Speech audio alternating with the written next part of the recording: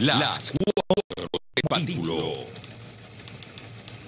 Hola Miguel, buenas tardes. Buenas tardes a la audiencia. Hola Selene, por cierto Miguel, felicitaciones a Selene por su defensa de su tesis de grado. Eh, bienvenida.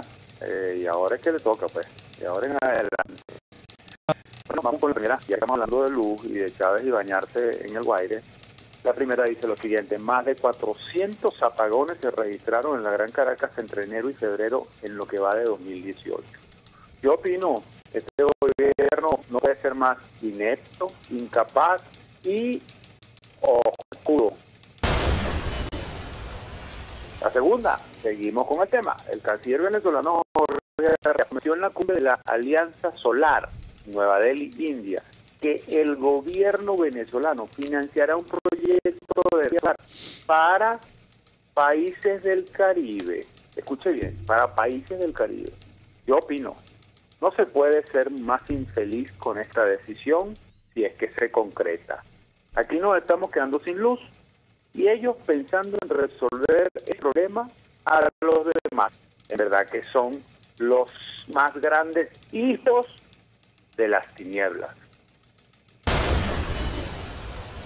La tercera, 20.000 cultivos de plátanos del sur del lago de Maracaibo abandonaron el campo para irse a otros lados en búsqueda de actividades que le generen más ingresos. Esto, lógicamente, aumentará la escasez del producto y se teme que un plátano pueda costar 40 mil bolívares en pocos días. En pocos días, 40 bolívares por un plátano. Yo opino, y plátano, te a la gente que vote por él. La cuarta y última, el PSV comenzará a cobrar el bono de la lealtad militante para financiar la campaña de Maduro. Yo opino, ¿cómo es eso? O me pregunto, mejor dicho, ¿cómo es eso? A estos demonios no se le puede aplicar el refrán criollo que dice, al que da y quita, el diablo lo visita. ¡Qué hipocresía! Pedro, ¿y si él es platanote, quién es platanito? Eh, platanote, un. ¿Y platanito? ah, no sé quién es ese. Yo no y, sé. Y tostoncito. Tostoncito tampoco sé quién es. Pero todo el mundo sabe quién es platanote, ¿tú no sabes? ¿Ah? No sé. Tipo grandote. Bueno, exactamente. Que quiere que voten por él. Pero tú sabes que existe el platanito y el tostoncito. Entonces, en 2017 a mí me preguntaron que cuál era, cuál era la diferencia entre Ajá. un plantón y un trancón. Yo dije ¿Tú qué dijiste? la misma diferencia que hay entre un platanito y un tostoncito. Ah, entre un plantón y un trancón, lo mismo.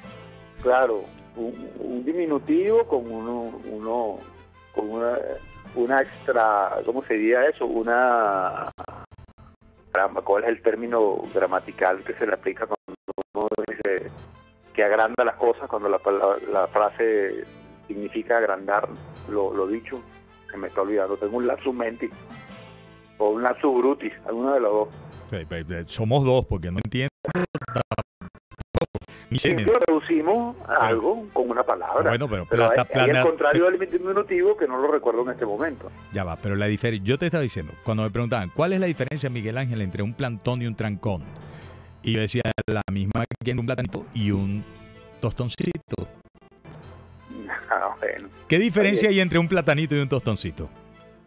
Ninguna que yo sepa. Exacto, exacto, Pedro, exacto. Ninguna que yo sepa. Y, y para efectos de lo que ocurría en la calle, la diferencia entre un plantón y un trancón era ninguna.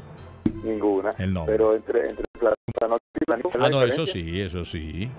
Bueno, que el uno puede ser maduro, si ya digo ha madurado, lo que pasa es que maduro nunca, ¿no? Ajá. Eh, eh, eh, y le gusta andar de verde, ¿no? Le gusta... Por cierto. Y rodeado, Sí, sí, sí, sí. y Y el- rodeado de mucho verde, de mucho. Es muy bucólico. Bueno, y el, plátano. y- y- y el otro se le parece, aunque es más pequeñito, pero eso es platanito, pero tiene los ojos verdes, ojitos lindos.